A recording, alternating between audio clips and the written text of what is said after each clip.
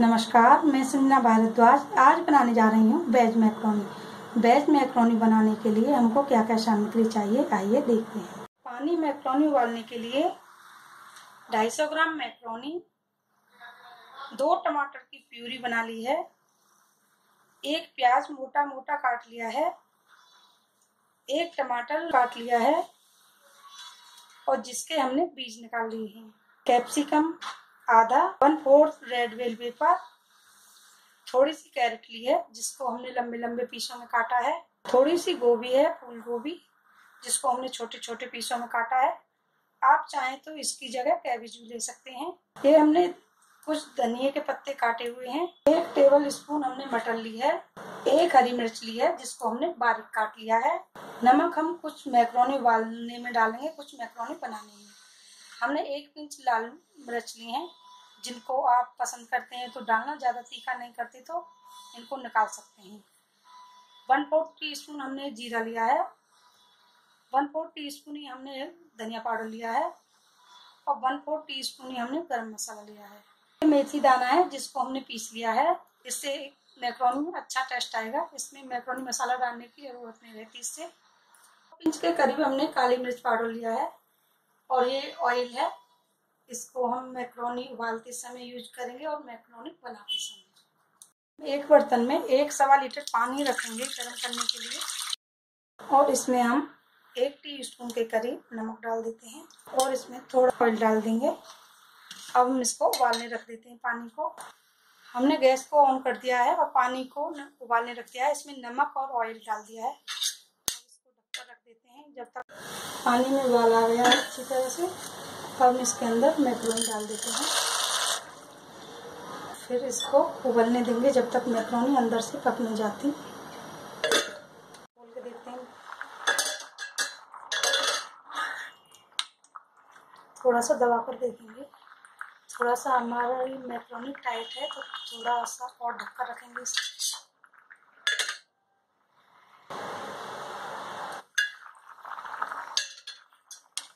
अब दोबारा से देखते हैं। मैक्रोनी बिल्कुल पक गई है अंदर तक तो गैस को ऑफ़ कर देंगे और कुछ सेकंड के लिए इसको ढक्का रखेंगे। इसको उबलते हुए छः मिनट हो गए हैं और आपकी मैक्रोनी के ऊपर डिपेंड करता है। कोई मैक्रोनी बहुत ज़्यादा जल्दी हो जाती है और कुछ मैक्रोनी टाइम लगाती है। इसका पानी निकाल लेते हैं इस तरह से। अब इसको एक बार ठंडे पानी से धो लेते हैं इसको।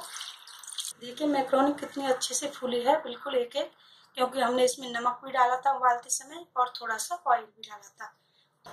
हमने गैस को ऑन कर दिया है और इसके अंदर ऑयल डाल देंगे।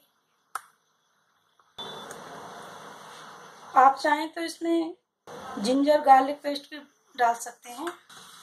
हमारा तेल गर्म हो चुका है। इसके अंदर जीरा डाल देते हैं। और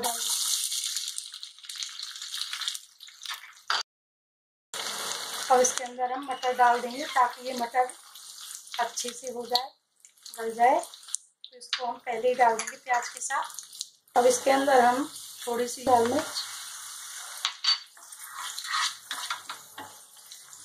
और ये टमाटर प्यूर डाल देंगे। इसके अंदर हमने जब इनको, इसको पीसा था टमाटरों को तो हमने थोड़ा सा अदरक का टुकड़ा इसके साथ ही पीस लिया था। और इसके अंदर हरी मिर्च को डाल देंगे। और गोभी को भी डाल देंगे। गाजर को। शिमला मिर्च। रेड बेल पेपर अच्छे से इनको मिक्स कर देंगे। इसके बाद हम नमक और टमाटर भी डालेंगे।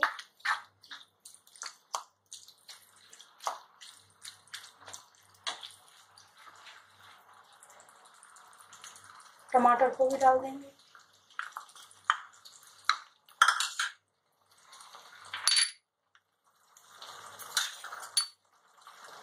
अब इसमें हम नमक डाल देते हैं, क्योंकि वो जब नमक डाला था मैक्रोनी को उबालते समय तो तो उसमें थोड़ा बहुत होगा और थोड़ा बहुत उसमें से धोकर निकल गया होगा। तो इसमें हम हाफ़ टेबल स्पून से ज़्यादा नहीं डालेंगे। और आप अपने टेस्ट के अकॉर्डिंग डाल सकते हैं। उस सब्जियों को थोड़ा पकने देंगे।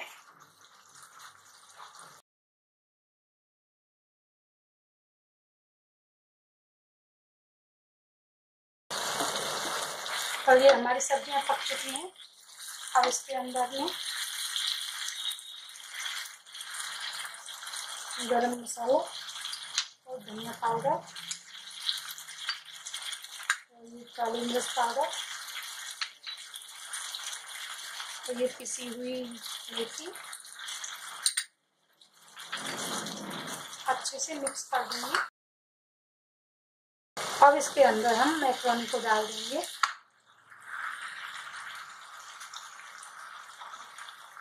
और इनको अच्छे से मिक्स कर देंगे।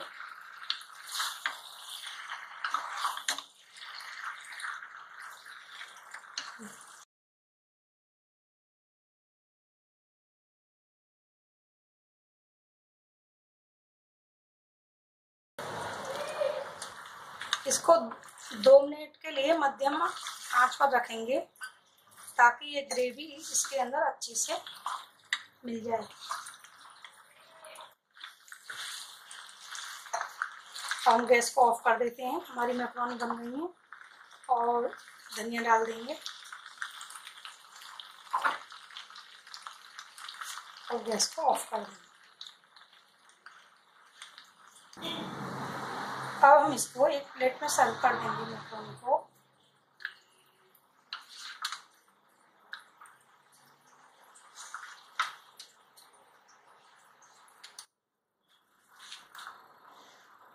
इस प्रकार से हमारी वेज मैक्रोनी बनकर तैयार है। आप भी बनाइए, खाइए और अपने अनुभव हमारे साथ शेयर करिए। अगर आपको ये मेरी वीडियो पसंद आई है तो मेरे चैनल को सब्सक्राइब कीजिए, लाइक कीजिए, कॉमेंट्स कीजिए। धन्यवाद।